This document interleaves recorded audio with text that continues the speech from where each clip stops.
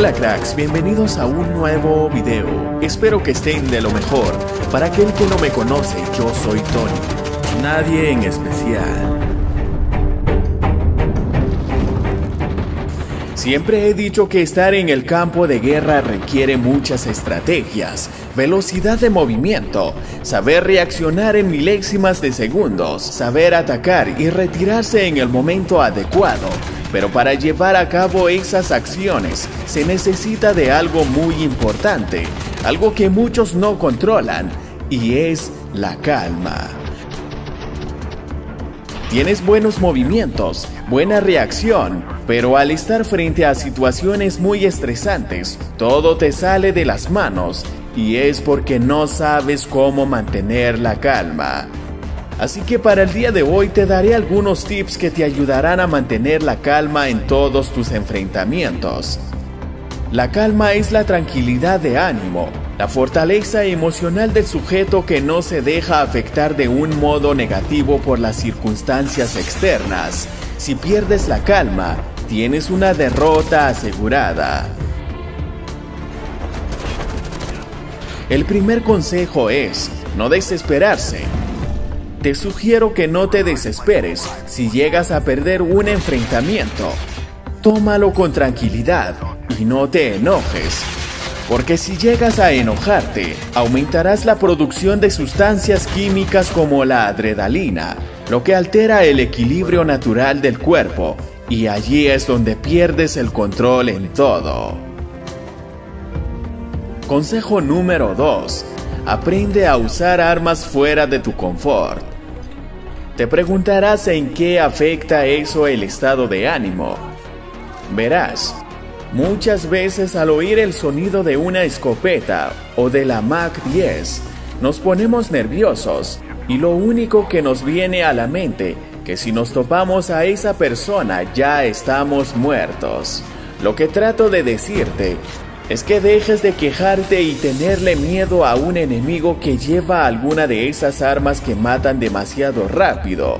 Mejor aprende a usarlas y darles batalla en cualquier momento. Deja de tenerle miedo a cualquier arma meta. Aprende a usarlas a tu favor, que para eso está en el juego, crack. Consejo número 3. No desear controlar la incertidumbre. La incertidumbre no se puede controlar y cuando tratas de hacerlo, inviertes energía, esfuerzo y emociones en el lugar equivocado.